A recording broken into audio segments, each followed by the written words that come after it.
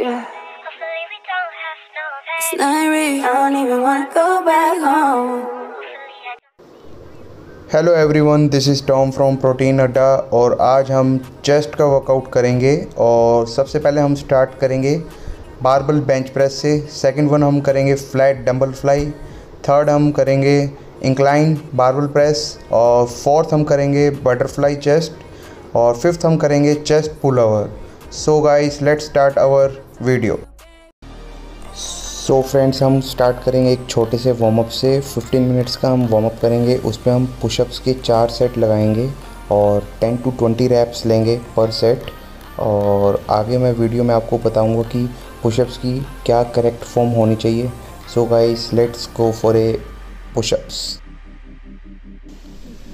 friends, तीन basic point मैं आपको पुशअप्स के बताऊँगा। सबसे पहला पॉइंट पुशअप्स का ये है कि हमें अपने हैंड्स अपने शोल्डर के बिल्कुल सामने रखने हैं। और चेस्ट जब हम डाउन जाएँगे तो हमारी चेस्ट बिल्कुल हमारे हाथों के बीच में आनी चाहिए। और हमारी बैक बिल्कुल स्ट्रेट रहनी चाहिए और हमारे हिप्स थोड़े अप होने चाहिए। और जब हम अप जाएँगे तो हमें ब्रीथ आउट करना है, ना कि breathe in so guys let's go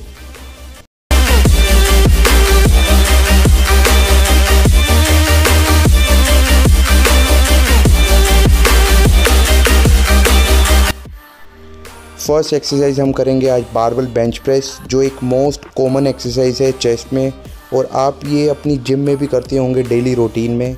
और आगे मैं वीडियो में आपको बताऊँगा इसकी करेक्ट फॉर्म क्या है, क्या मेन पॉइंट्स हैं।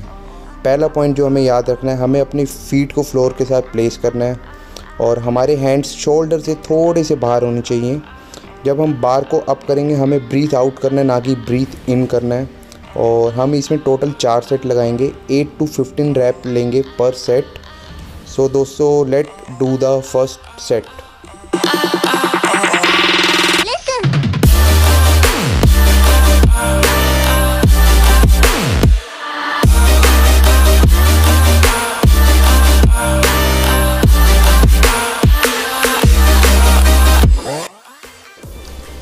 second exercise हम करेंगे फ्लैट डंबल फ्लाई और इसमें हम लगाएँगे चार सेट और एट टू फिफ्टीन रैप्स लेंगे पर सेट और दोस्तों चलते हैं वीडियो की तरफ़ और करते हैं अपना first set complete so guys let go for a first set सबसे मेन पॉइंट हमें जो फोकस करना है इस एक्सरसाइज में, जब हम डंबल अप करेंगे तो हमें अपनी चेस्ट को प्रॉपर स्क्वीज़ करना है। जब डंबल डाउन जाएगा तो हमारी चेस्ट प्रॉपर स्ट्रेच होनी चाहिए। हमारे डंबल जब हम नीचे लेके जाएँगे हमारी एल्बो ज़्यादा नीचे नहीं जानी चाहिए। अगर एल्बो ज़्यादा नीचे जाएगी तो हमारे वो शोल्डर पे कॉन्ट्रैक्शन करेगा ना कि चेस्ट पे। और इस एक्सरसाइज का बेनिफिट ये है ये हमारी चेस्ट की सर्कल को शेप देता है और हमारी जो इनर लाइन होती है चेस्ट की जिसको डेफिनेशन बोलते हैं उसको ये प्रॉपर शेप में लाता है। सो so, दोस्तों अपना सेट कंप्लीट करते हैं इस एक्सरसाइज में।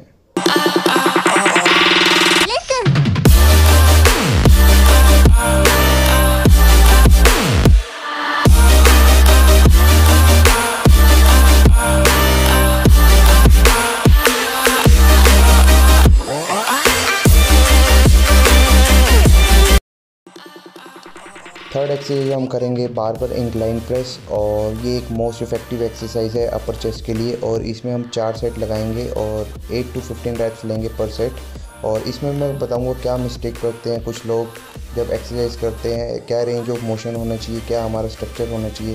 सो दोस्तों, चलते हैं वीडियो की तरफ़। फ़र्स्ट पॉइंट जो हमें फोकस करना है, सबसे पहले हमें अपने बेंच को प्रॉपर सेट करना है। हमारा फोर हेड बिल्कुल बार के सामने होना चाहिए, ना ज़्यादा नीचे होना चाहिए, ना ज़्यादा ऊपर होना चाहिए। अगर फोर हेड ऊपर नीचे होगा तो वो हमारे शोल्डर पे कॉन्ट्रेक्शन करेगा, हमारी चेस्ट पे इफ़ेक्ट नहीं आएगा। सेकंड हमें अपनी ग्रिप पे फोकस करना है। हमारी ग्रिप थम्बलेस नहीं होनी चाहिए। हमारी ग्रिप थम के साथ हमें बार को पुश करना है। थर्ड पॉइंट हमें अपने फीट को फ्लोर के साथ टच करना है। फोर्थ पॉइंट हमें ब्रीथ आउट करना है। जब हम बार को अप करेंगे और बार को नीचे लाएँगे तो हमें ब्रीथ इन करना है। और फिफ्थ पॉइंट जो है, हमें अपने हेड को बिल्कुल बेंच के साथ लगा के रखना है। हवा में नहीं रखना। सो दोस्तों, चलते हैं अब अपने सेट की तरफ़।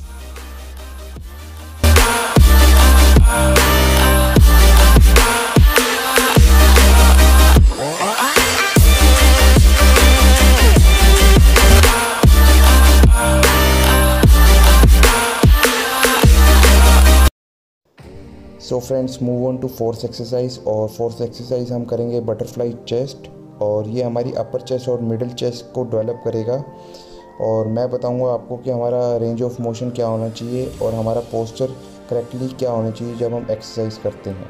तो चलते हैं वीडियो की तरफ़। सो so, दोस्तों सबसे पहले हमें अपने बेंच को सेट करना है। और जब हम हैंड्स को आगे लेके जाएँगे तो हमें ब्रीथ आउट करना है और पीछे ले जाते समय ब्रीथ इन करना है।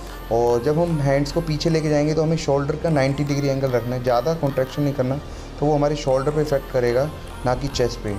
सो so, दोस्तों करते हैं अपना set complete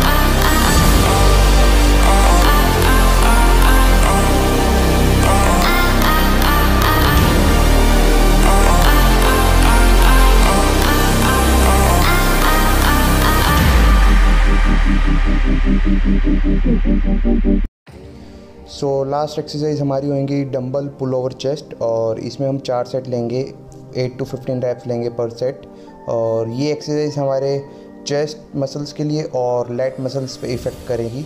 सो so, चलते हैं वीडियो की तरफ़।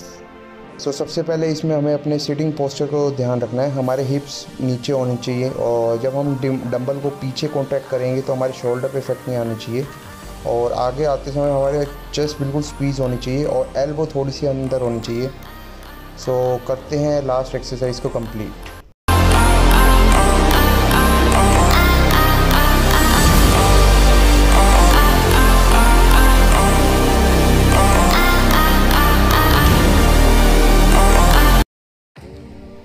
सो so, हमारा वर्कआउट हो चुका है कंप्लीट और अब हम करेंगे कार्डियो 10 मिनट के लिए और करेंगे थोड़ी सी कैलोरीज को बर्न और हमारे जुम्बा ट्रेनर आपको दिखाएँगे क्लैप पुशअप्स थोड़ी सी चेस्ट को पंप करने के लिए सो चलते हैं कार्डियो की तरफ़.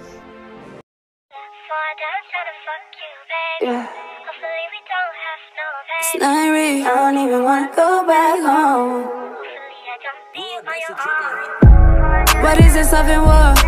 He know that I love him, got him fucking me raw.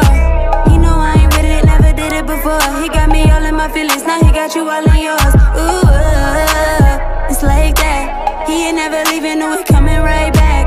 I know that he need it, cause Shorty gon' bite back. And he don't want nobody else sitting it like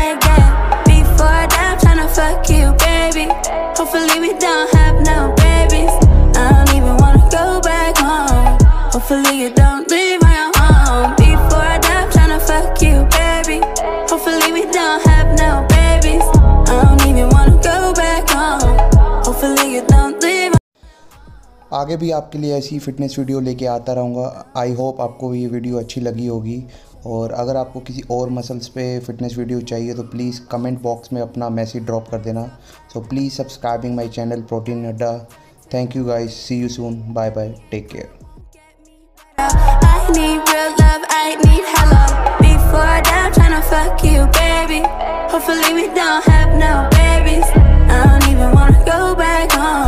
Hopefully, you don't